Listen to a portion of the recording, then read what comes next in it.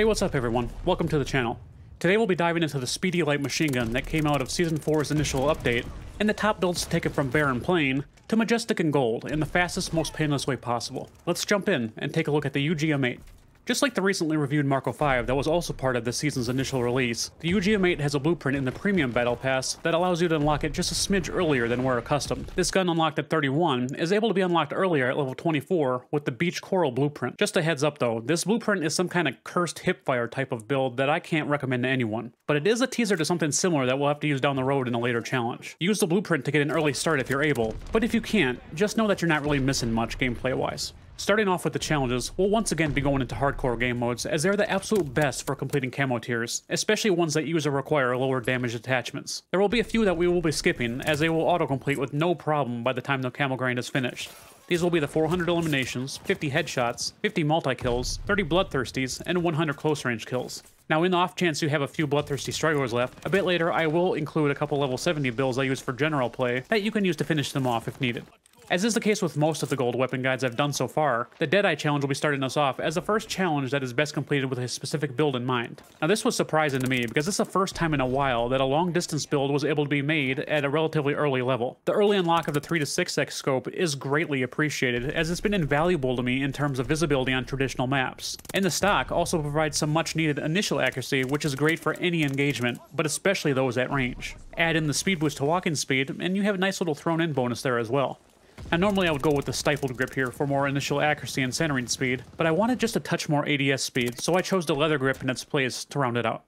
This next challenge is for sure the grindiest of the entire bunch. You need to get 100 bullet penetration kills to complete the Wildcat tier. Now I'm going to show you my build here that I use, but just know that it's a level 70 build, and that I saved this one for absolute last. My reasoning was that I could potentially pick up some of them during the restrictive camo challenges, as well as saving me some time in the process. After all, we're all about efficiency, aren't we?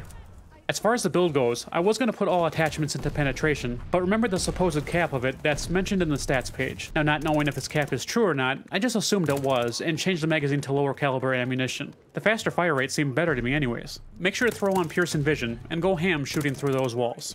Moving on, starting us off with the restrictive attachment challenges is Survivalist, which has to get 100 kills without taking damage from that enemy, with the MX Silencer, Romuald 560mm DA barrel, and the Bernard Forte 7 stock equipped.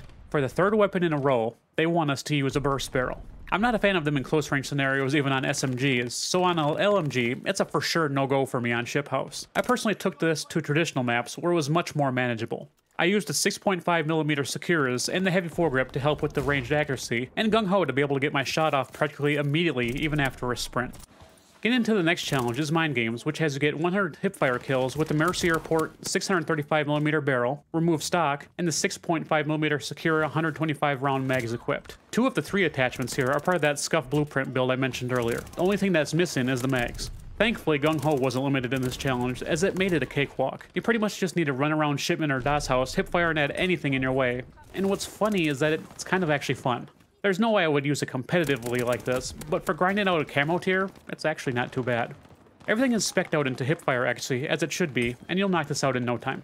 Finishing off the restrictive attachment challenges is Death Artist, which has to get 100 ADS kills with the Bernard XL214 736mm barrel, Bernard Forte 7 stock, and the 303 British 50 round fast mags equipped. I use traditional maps again for the most part of this challenge, because the barrel and fast mags, even being pretty good at what they do, were putting me in poor positions where I had a hard time getting my shot off first.